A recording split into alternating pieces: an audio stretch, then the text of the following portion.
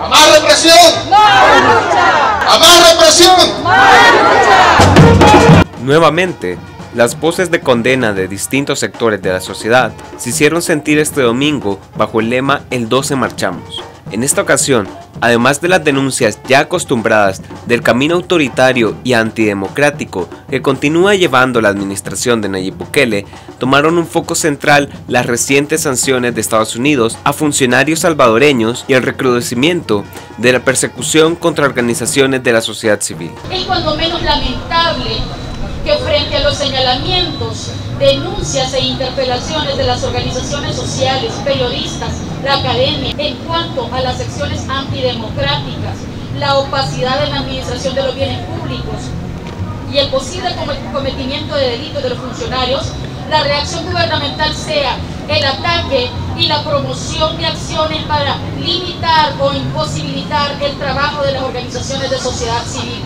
¿Qué quiere la gente?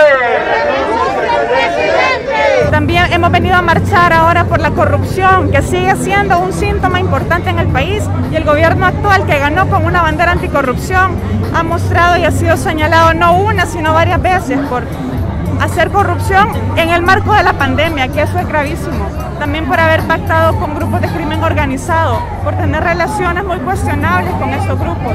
También porque se está usando dinero público para especular con el Bitcoin y no hay una solución real para la economía de los salvadoreños, pero sí hay una solución y hay una vía de inversión que no nos conviene como país para grupos que quieren privilegios, ¿verdad? La población alza la voz diciendo que no queremos volver a esas épocas, que no queremos que se instaure en el país la dictadura y la militarización, pero además también alza la voz en contra de aquellas acciones de persecución política, en favor también de los presos y presas políticas a las que se les violan sus derechos de... ¡Pueblo adelante! ¡Saquemos al maleante! ¡Pueblo adelante! ¡Saquemos al maleante! Desde muy temprano, retenes policiales fueron colocados en los principales accesos a San Salvador desde el interior del país, una práctica lamentablemente ya común de parte de las autoridades para desincentivar el derecho a manifestarse.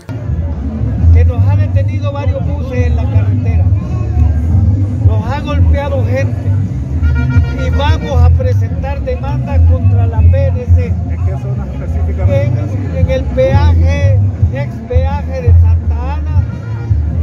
golpearon a dos mujeres ancianas en el kilómetro 18 de Morazán.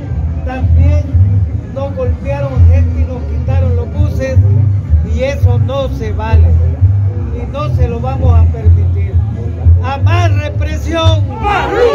Los manifestantes llenaron la Plaza Barrios una vez más, lugar que ya se ha convertido en un símbolo icónico de expresión del malestar ciudadano contra el mandato de Nayib Bukele.